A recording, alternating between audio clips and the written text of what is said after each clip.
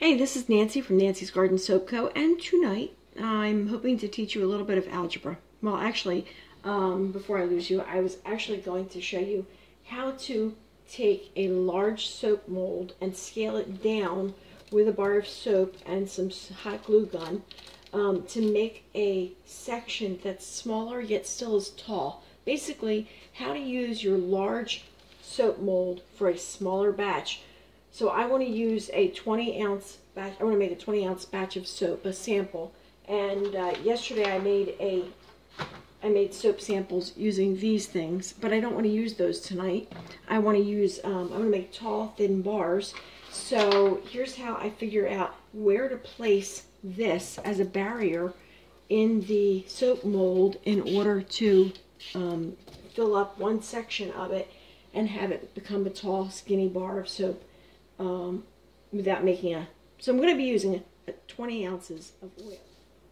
74 ounces of oil and the mold is 20 inches. That's my ratio.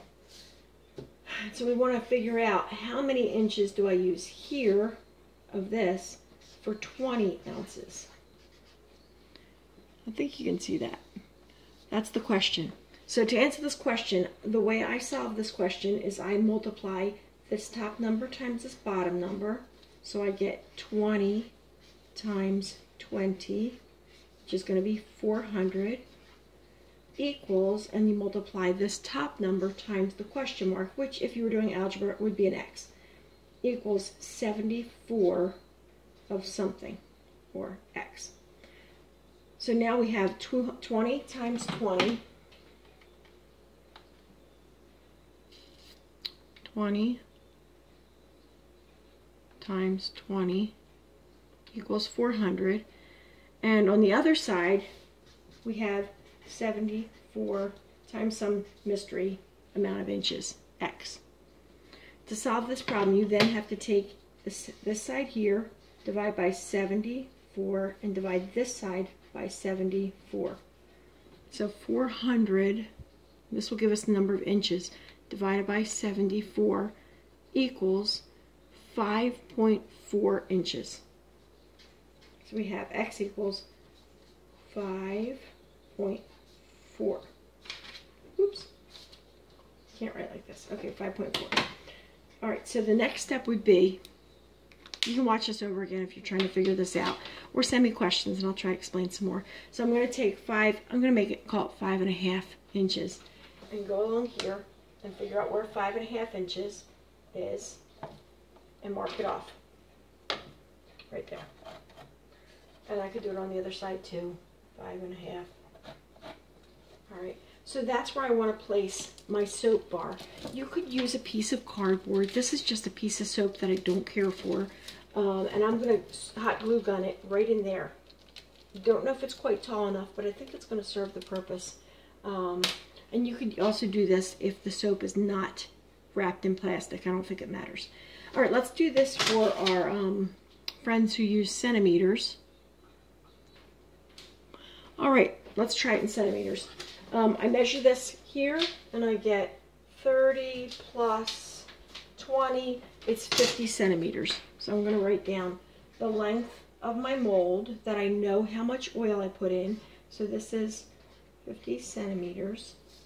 Over here we're going to put length of mold. And then on the bottom, we're going to put down um, the number of ounces, or if you're doing it in grams, grams or kilos, down here, you would put the weight of the oils that you usually use for the full container. In my case, it's 74 ounces. Okay, I don't work in metric for that. But you could if you wanted. All right, so this is what we have so far. And then we want to figure out this number up here. This is new length of the mold that we want based on the new amount of oil. The new amount of oil for your sample is going to go here. It might vary depending on how many ounces you're testing out. If you're testing out a two ounce batch of uh, fragrance oil or you're only using 20 ounces of oils like I am, then you're going to put that here. And then you're going to do the cross multiplying. So um, we'll start out by doing 50 times 20. 50 times 20 equals 74x. 74x. To be all proper, you should put in all your units, your centimeters times ounces, your ounces times centimeters, but this is a soap making thing. So um, we're gonna, just trust me on this, just make sure you have ounces or grams on the bottom and centimeters or inches on the top. Keep them the same, ounce, ounce, centimeter, centimeter. Okay, um, clear this, do some math for you. We have 50 times 20 equals thousand. 1000 equals 74x. Divide both sides by 74 to get the x by itself. 7, 4, divide by 7, 4. I'm going to take my calculator and take, this is going to be, our, our answer is going to be centimeters. You have to put the top number in first, 1000 divided by 74 equals. So it's going to be 13.5 centimeters. These cross out and x equals 13.5 centimeters. All right, that's how you do the math. Um, now let's do some gluing. I know that's not the easiest of math. It's a little bit of algebra, which I love, but not everybody does. All right, I have my hot glue gun here, and I'm going to attempt to hot glue gun this um, right at the correct location. So I'm going to stick hot glue on here, on this side and on the bottom, and slide it in in the correct position. Bring it down to see what it looks like. So I have a gap on the one side, so I'm just going to take this and fill in the gap.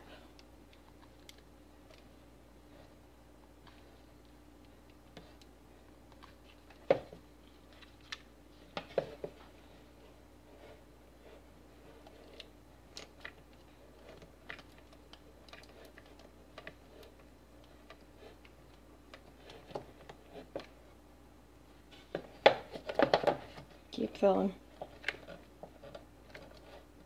Shoot it right in. And you get let this heat up a little bit more. Fill in that gap right there. I've done this before in a different video. I think it was last year. Alright, how's that look? It's almost secure. All right, I um I think that's gonna work. I'm gonna I'm gonna let this heat up one more stick of glue and shoot it from the other side, and then you'll know that that's what we're gonna use. My glue gun keeps falling over. Um, yeah, that's nice and secure. Okay, that's gonna work, and I'm gonna put my um, soap batter into this side right here. All right, I have one more idea here. I want to do one with uh, a box in case you don't have a spare piece of soap that you can put in here. This is a Ziploc or a slider bag um, type soap uh, box that happens to fit just perfectly in here and I'm going to do this at the other end so if I wanted to run two of them at once I could put one sample down here and one down the other end. However, if I do it this way, this middle section is really not usable.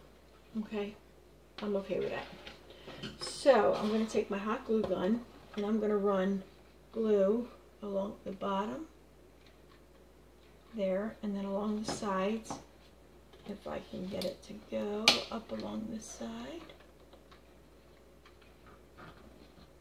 Mm-hmm. And down this side.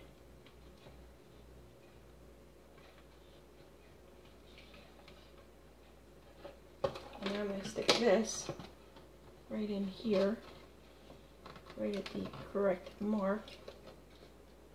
Squeeze it together a little bit. Oh, I think that's beautiful. All right, I think that's going to work. I hope I didn't cover you up with my hair too much. And uh, now I have two sides that I could work with. This one here and this one over here. All right, I think that'll do it. That gives you two options. Thanks for watching.